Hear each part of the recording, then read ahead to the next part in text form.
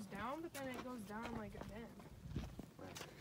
Now we're at the Grand View Point Overlook at Arch or at Canyonlands National Park. Dad, where's the river at? Mom, can I get a picture here? Yeah, I'll get a picture. Do we all want a picture? No, this is tripping me out. Mom, come here. I'm scared. Why? Yeah, I don't really want to stand Is that a trail down there?